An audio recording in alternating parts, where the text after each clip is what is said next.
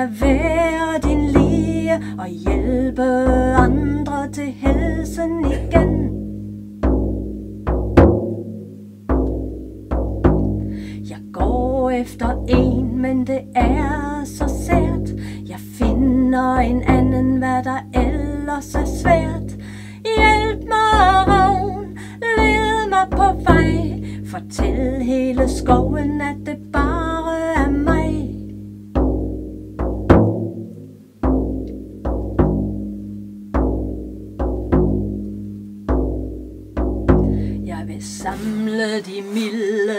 nattesøvn. Jeg vil samle de smukke til brudeseng. Fortæl moder jord, visk mig i mit øre. Hvad får jeg brug for i årets ring?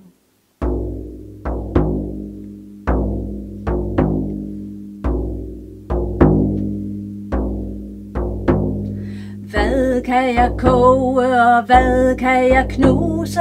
Hvad kan jeg tørre, og hvad kan beruse? Hvem sender mig til åndernes land? Lån mig lidt af din urte forstand.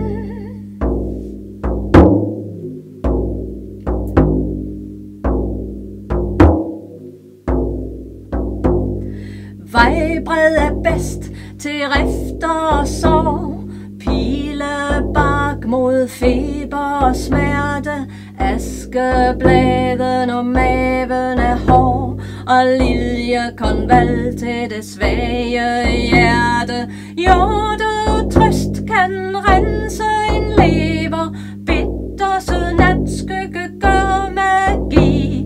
Mælkebøtte og hyben mod snue Og ulvefod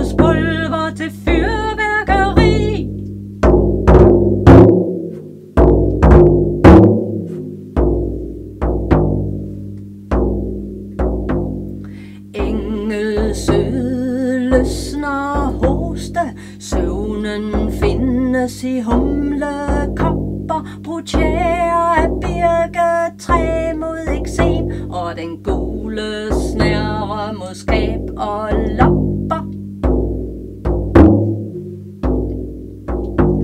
For frugtbarhed gives nødder og frø til de unges bryllupsfærd, men i trange tider, hvor børn er til last, giv åkande mod for meget begær. Den røde kattehale køler og lindrer, når smerter får kroppen til at bløde.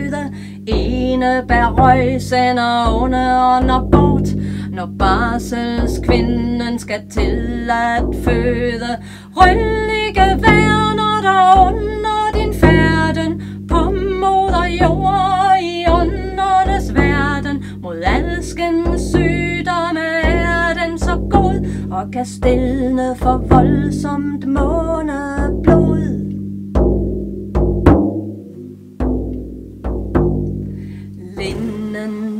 skal have et vers, af den gør vi redskaber både og bedst.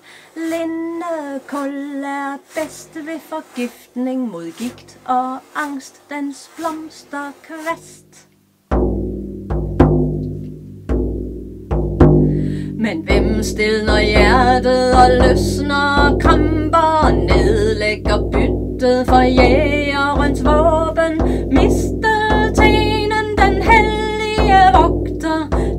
lader vejen til alviden åben.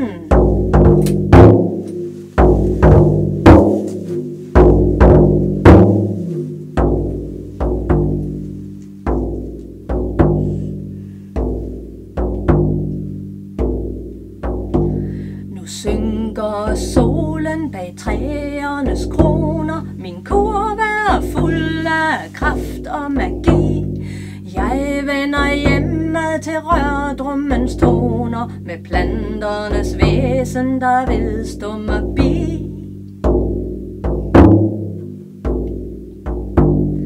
Vejen er åben til planternes rige. Jeg beder dig urt om at være min ven.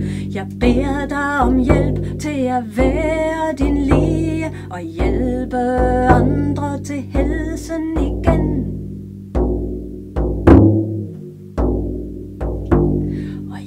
Hjælpe andre til helsen igen.